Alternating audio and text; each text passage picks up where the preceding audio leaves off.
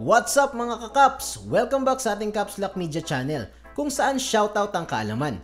Noong nakarang video ay nakilala natin kung sino ang nakaimbento ng volleyball. Ngayon naman ay aalamin natin kung ano-ano ang mga posisyon ng bawat player sa loob ng court. Pero bago yan, please subscribe to our channel for more videos and kindly hit the notification bell for more updated videos. Simulan na natin mga kakaps! Ang volleyball ay may anim na player sa loob ng court. Ang uno ay ang setter, dos ang right side hitter, tres naman ang middle hitter or blocker. Ang nasa 4 naman ay ang opposite. Ang 5 ay ang left side hitter or opener. At ang nasa 6 ay ang libero. Ang outside hitter o left side hitter o mas kilala sa tawag na opener ay ang mga spikers na first option ng setter kung sakaling magulo ang tanggap ng bola. Sa opener, ibabato ng setter ang bola para sa isang open spike.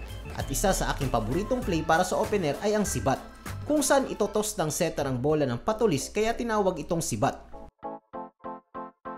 Ang middle blocker naman ay ang laging nasa gitna. Sa opensa ay pwede rin silang mga spikers at mas effective sa kanilang play na quick. Pagdating naman sa depensa ay sila rin ang numero unong involved pagdating sa pag-block ng atake ng kalaban. Ang right side hitter naman ay ang isa pang opsyon ng setter para bigyan ng magandang set at makaspike ng malupet. Kadalasan ay nasa right side hitter ang mga tricky plays dahil sila ay nasa likod ng setter. Kung magaling ang setter ay mas maraming puntos ang magagawa ng right side hitter. Sila din ang blocker ng opener spiker ng kalaban.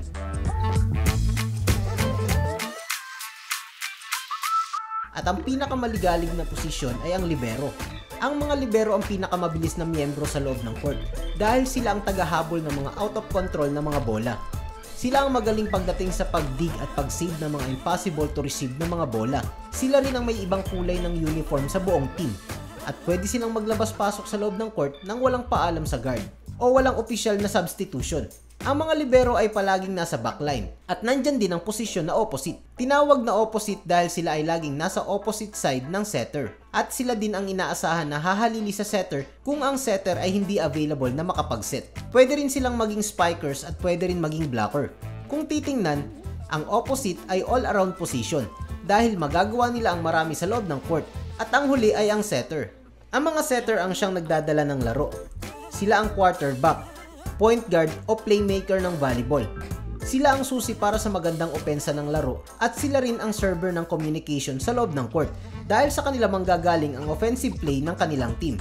Meron din silang very fast decision making skills sa loob ng court. Sila ang nakakabasa ng depensa ng kalaban at kung paano ito aatakihin. Ayan mga kakaps, ang anim na posisyon ng mga volleyball players. Sa susunod na video ay kikilalanin naman natin kung sino-sino ang magagaling na volleyball players sa buong mundo.